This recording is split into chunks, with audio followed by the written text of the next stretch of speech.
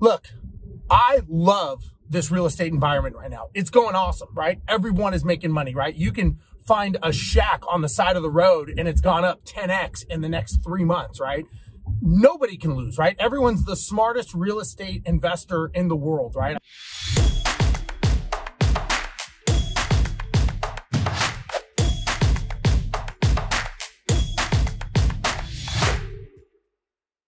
I talk to people all the time. Everyone's telling me how to do things and they've been doing it for three months. They don't even think a downside exists, right? Well, let me tell you something. It does exist and, you know, it will happen. It always happens. Now, I'm not going to give some prophecy that it's going to crash and, you know, fire and brimstone and it's going to be the end of the earth. But I think that it's safe to say everything has a correction and we are going to see a correction in this market, just like we see it in any market. Now, what I would suggest that a lot of people do is you need to start preparing for the next cycle, right? Because this is not going to last forever. When it starts becoming unobtainable for average people to either rent a place or buy a place, that is a sign, right? There are indicators that are telling you the data and the numbers tell you a story. Whether or not we choose to listen to that story and we prepare for the next coming, that's on us, right? I know because the last cycle I wasn't prepared and I didn't pay attention and it ended up biting me very, very badly. So one of the things I would say is always make sure that you're looking out for the next thing, right?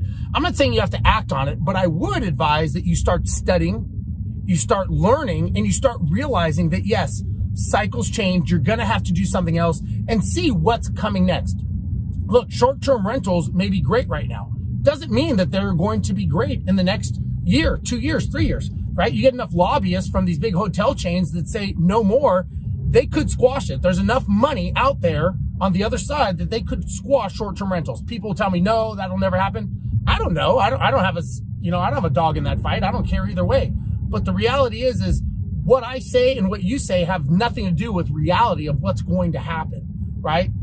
And you got inflation, you've got them printing money, you've got this eviction moratorium, you've got all these things going on for you to sit there with your money, your family's money, you have a fiduciary responsibility to make sure that you are being responsible with your money, meaning your future and what's going on. So don't get lulled into this false sense of security that everything is great, it's never going to go bad, and you're always going to be making money.